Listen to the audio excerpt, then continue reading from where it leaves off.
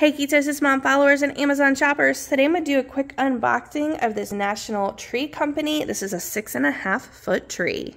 First thing to note when you open this up is you are going to have the metal base right here on the bottom.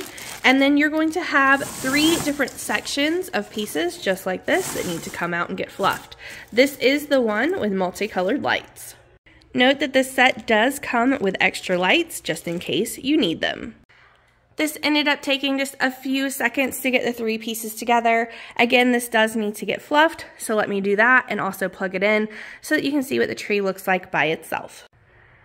Now that we have everything nice and fluffed, this is what she looks like, nice and skinny and tall. I'm going to go ahead and get her decorated. But overall, she was very easy to put together, has lots of really nice lights on it, all different colors.